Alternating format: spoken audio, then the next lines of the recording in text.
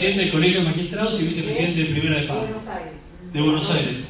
Y le dije, Margarita, lo quiero tirar abajo un camión. Y no es el único.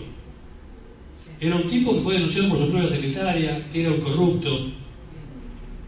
Y, y- y hubo debate interno. Y nos pasó con otros, nos pasó con otros jueces. Dijimos, lo tiramos abajo de un camión, porque nuestro compromiso es con los ciudadanos. No es con los jueces, es con los ciudadanos. Porque si vos no, si tu, tu principal compromiso no es con los ciudadanos, te tenés que ir. Te tenés que ir porque estás usando el poder para te, te convertiste en la peor imagen de la burocracia beberiana.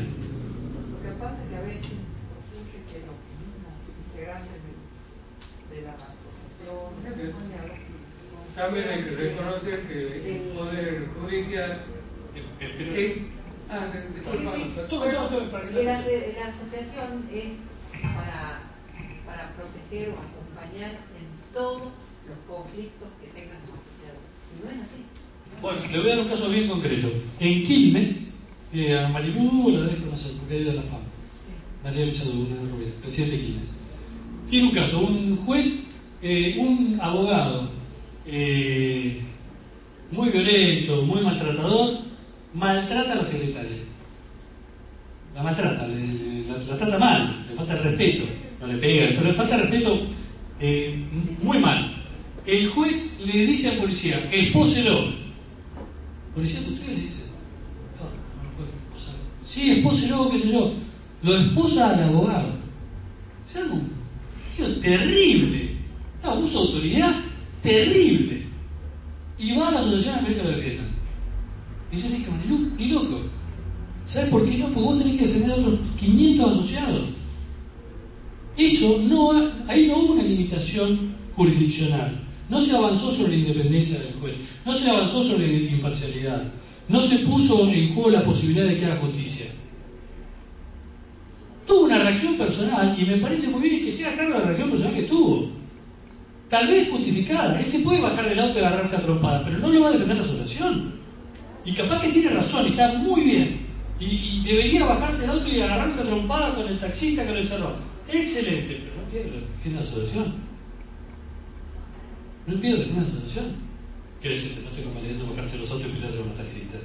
Es un deporte como cualquier otro, pero no tiene cosas. No, pero digo, no es las, lo que debe proteger las asociaciones para mí es la independencia, la imparcialidad, las condiciones de trabajo, todas las condiciones de trabajo, todas, la calidad del sistema, pero decisiones personales, a mí me, pasó con un juez que me llamó también, que lo estaban en un seminario, lo estaban castigando, qué sé yo, eh, justo no estaba el presidente por una feria, era una Semana Santa, y yo eh, me, me manda las notas, no sé, gracias, no, están absolutamente liberados, justificados, y si yo, yo me iría, me miro, cuando se distraiga, me voy.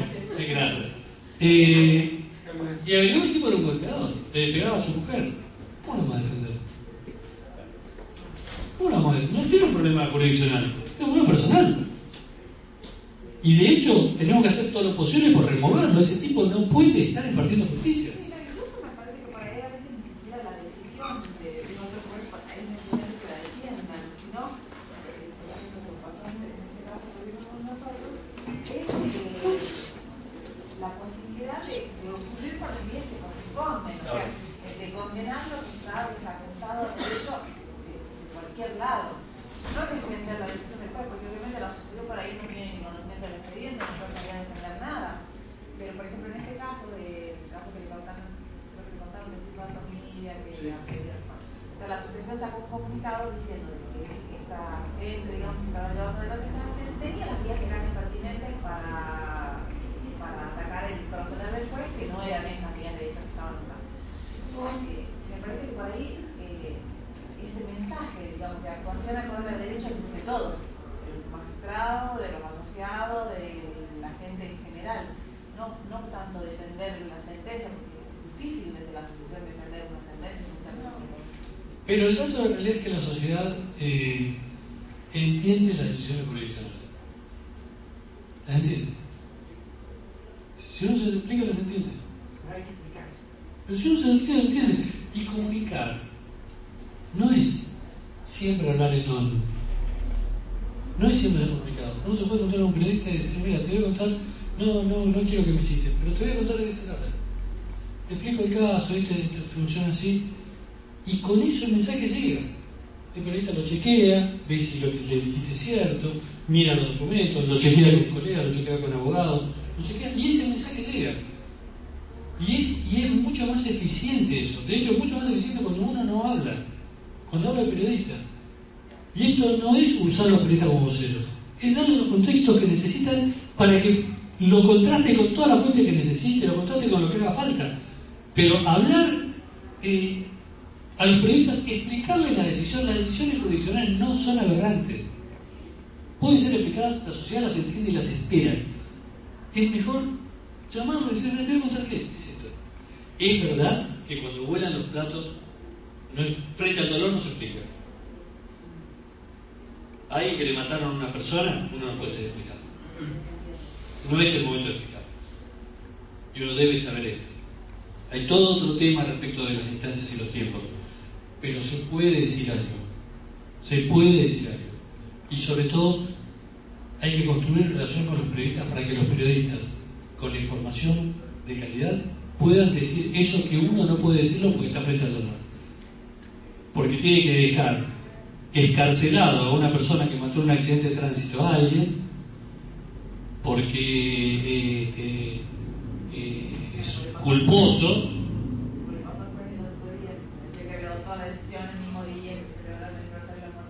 Sí, sí, es mil, bueno, es un tema, pero en todo caso, supongamos, eh, ¿sabe qué la familia?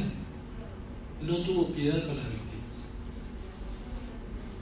No le dijo está mal, no, no se ajusta derecho, no, no, tuvo piedad con las víctimas. ¿Qué esperaba? Tenía una experiencia de afecto. La justicia no va a no es un proveedor de afecto. Hay un desajuste de expectativa. No es un proveedor de afecto. ¿Cómo se soluciona?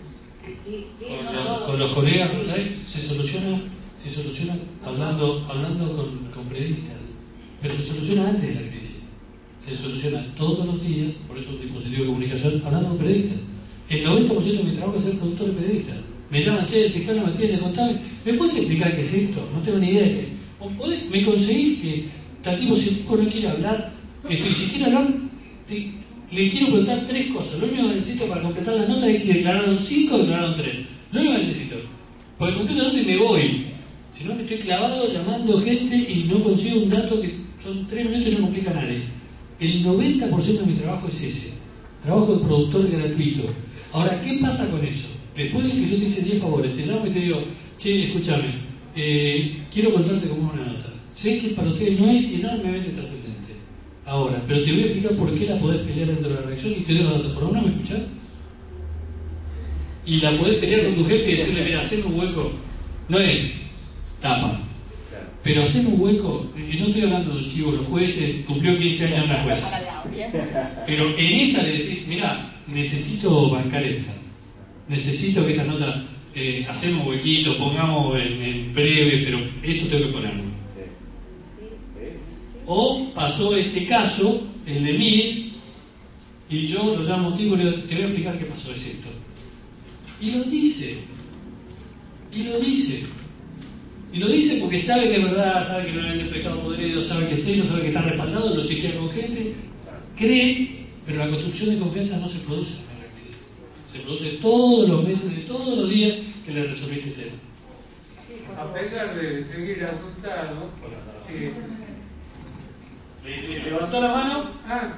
Le damos la palabra. No, no, era solamente acotar respecto de la satisfacción de las expectativas. Sí. Volvemos a lo mismo. El espacio público eh, no es un espacio de racionalidad, lo que, retomando lo que había dicho al comienzo, sino también un lugar donde se conflicto de interés. Sí.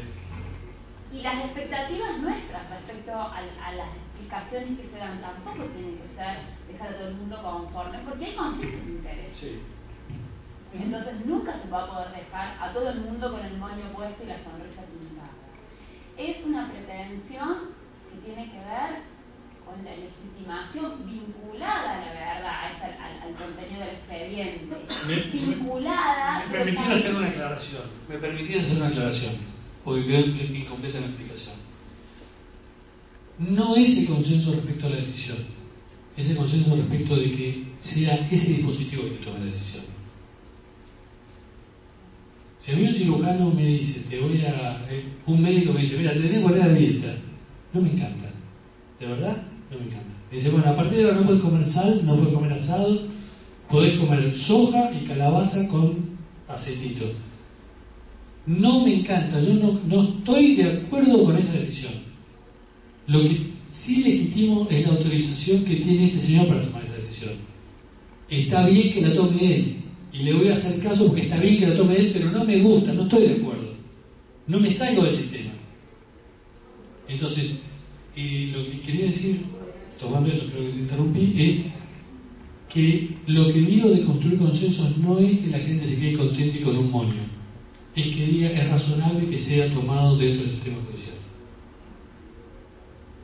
Puede ser mejorable esa decisión, puede ser revisada en otra instancia, esto que puso la asociación, eh, pero no me salgo del sistema. No digo lo que dijo Aníbal Fernández, los jueces liberan a los delincuentes que detiene la policía. Yo le escribí un comunicadito que decía, hace 30 años en Argentina ninguno uniformado dice que es culpable. Lo que detiene a la policía son ciudadanos, que serán delincuentes cuando un juez lo diga. Cuando después de un debido proceso un tribunal lo diga. Lo que libera la, justicia son ciudadanos. Porque si no, cada vez que agarran a 200 barra deberían tener presos 200 barra. Cada vez que se llevan un boliche, vacían el boliche, deberían tener presos. Lo que tienen las policías son ciudadanos y un ministro de Derechos Humanos debería saber que los uniformados no deciden quién es culpable y quién es inocente. Pero para eso, para eso hay una cuestión que es, no hace falta que estén de acuerdo con la decisión. Hace falta que estén de acuerdo con que exista un sistema, que haya un sistema experto que es medianamente racional y que toma decisiones medianamente racionales y que tiene todos los dispositivos para corregir las decisiones una vez que han sido tomadas tiene control durante todo el proceso y tiene dispositivos de corrección. además el Poder Judicial está controlado por el Consejo de la Magistratura y debe ser el único, si no lo afirmo, es el único poder que se ha depurado. Porque de los otros poderes, del Ejecutivo, del Legislativo, siguen siendo los mismos que estaban. Los jueces que actuaron mal o que por algún motivo se equivocaron o no, han tenido que pasar por el Consejo y se lo ha sacado del lugar que estaban ocupando, cosa que no sucedió con los demás poderes. Así que, sí, bueno, los otros poderes se renuevan por el voto también. Sí, hay un mecanismo de emoción. Perfecto, Sí. Pero tiene que haber algo que diga, no, ya está, Sí, sí, no, es yo estoy de acuerdo. El poder judicial es el único poder del Estado que tiene dos partes que están controlando cada decisión jurisdiccional, porque aunque sea en un juicio penal, está el fiscal, está el defensor. En un juicio de familia, aunque haya una, aunque sea una ausencia, tiene un defensor y tiene, siempre hay dos partes que están controlando. El juez decide y después tiene, las partes tienen recursos y los cuatro instancias, la segunda instancia, la instancia extraordinaria. Todos esos controles son las partes y los, recursos, es, digamos, el único, no hay ningún otro poder del Estado que tenga esa cantidad de controles que están insertos, en, son estructurales del sistema. Por una decisión de cualquier otro poder del Estado, no hay dos partes controlando la, la opinión pública, si trasciende el no el tema. nosotros no sabemos quién votó la ley la. Del SAL, la votaron y ya pasó el tema y todo el mundo se olvidó. Pero es, es, ese control existe permanentemente, es verdad. Pero yo creo que, el gran dilema, la gran dificultad que tiene el Poder Judicial es la sospecha generalizada causada por el contexto general global que existe de, la, de la falta de respeto a la autoridad o la sospecha de que si hasta el presidente del Fondo Monetario Internacional era, lo metieron preso, bueno, cualquiera puede hacer cualquier cosa. Es, que es el último punto. Es el último El problema es que no puede trasladarle a otro. El problema es que no puede trasladarle a otro. El problema del Poder Judicial es que eh, responde a la pregunta del Chapulín Colorado y ahora quién podrá defendernos. Porque no, porque no hay, no hay quien más. Es el último. Es el último. Entonces, eh, y es el último y le toca controlar al poder. O sea, le toca controlar a quien no controla. No hace más que mirar los diarios. Le toca controlar a quien no controla. Eh, y entonces, tiene muchas. Yo escribí un artículo sobre, sobre el Poder Judicial frente a la crisis, porque no puede funcionar como, como funcionan las empresas. No es un actor unificado. Entonces, el fiscal puede decir una cosa y puede decir otra en público y descalificarse eh, mutuamente, cosa que en una empresa no sucede el CEO de IBM dice vamos a esta cosa y de para abajo todos dicen eso. No puede uno decir una cosa y otro otra. Entonces, eh, eso, controlar a quien te controla, a quien define tus presupuestos, a quien, a quien define eh, las, trayectorias, a quien decide construirte más fuera o menos fuera, a quien decide la ley y los códigos procesales, es un problema. Entonces ahí, ahí hay otro tema. Los dejamos ir porque ya... Eh, ya, ya estamos por alquilar para noche. Muchísimas gracias. Millón de gracias por la paciencia. Millón de gracias. Ahora, hermoso. Chao, chao. Chao, gracias. Muy